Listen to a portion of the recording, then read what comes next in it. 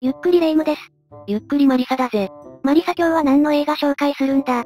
今日は、日本人誰もが想像したことある空想話を実現させた映画を紹介するぞ。本日紹介する映画はこちら。もしも徳川家康が総理大臣になったら、2021年に出版され大ヒットを記録した小説を原作に、AI で復活した偉人たちによる最強ヒーロー内閣の活躍を書いたコメディ映画。この作品どんな作品なの？それがめちゃくちゃ不思議な話で、2020年のコロナ禍で、なんと首相官邸でクラスターが発生して、総理大臣が急死するんだ。えそれは大変だね。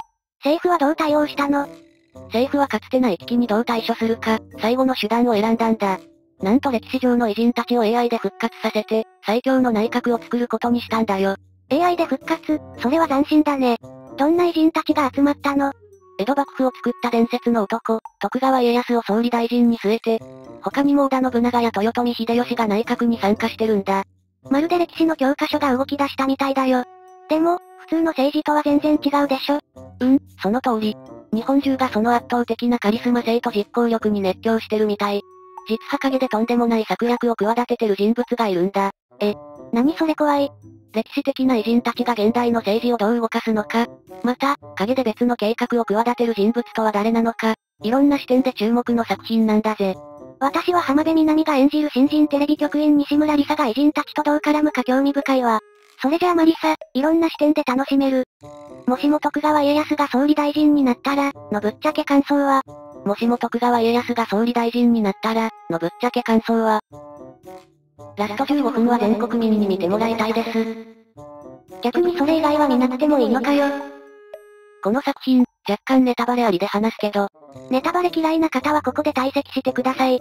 この作品の良かった点は何と言っても、今の政治家たちには絶対真似できない行動力。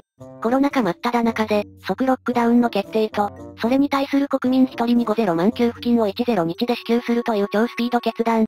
あまりの大胆な行動力に最初は偉人内閣に対して、国民は反対の意見が多かったんだ。そりゃ、国民一人50万なんて絶対後で増税されるって疑ってしまうもんね。ただそこは、歴史に名を刻む偉人たち、特に信長の考えた国際対策なんて、消費税を下回る支持率になるんじゃないかと言われている。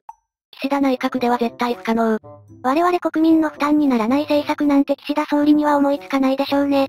本当に国民のためになる行動を起こしてくれる家康、秀吉、信長を中心とした偉人内閣は、今の AI 技術なら、本当に実現できないかなって、映画の世界観に嫉妬するぞ。とりあえず、岸田総理本人に干渉してもらおうか。いやいや岸田総理どころじゃない、政治家全員どころか国民全員に見てもらいたいシーンが、ラスト15分ぐらいから始まる家康の国民に訴えかける演説シーン、秀吉の前振りの演説もあったせいで、日本を本当に良くしたいと思うなら、自分たち国民の力で何とかしないといけない、そう思わせてくれる。見事な演説というか、お説教だったよ。巨大スクリーンで説教聞かされるの、この映画。まあ、そこは退屈に思う人もいるかもね。でも政治家には耳が痛い演説だったよ。偉人たちは当然活躍するのはわかるけど一般人であるヒロインの西村理沙はどんな活躍したの？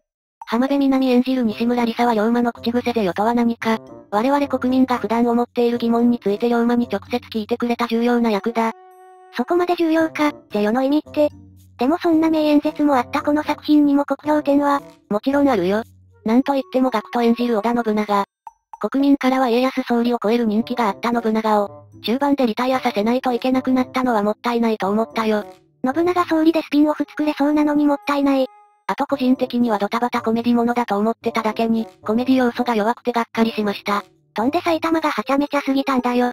じゃあがっかり感も多少あった？もしも徳川家康が総理大臣になったら、の5段階評価はもしも徳川家康が総理大臣になったら、の5段階評価は、星3つです。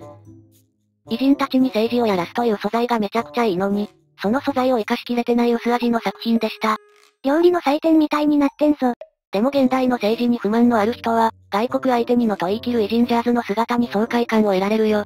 逆に岸田総理支持者は、この映画見ると鼻で笑いそうだな。外国に逆らってるよこいつら、とか言いながら。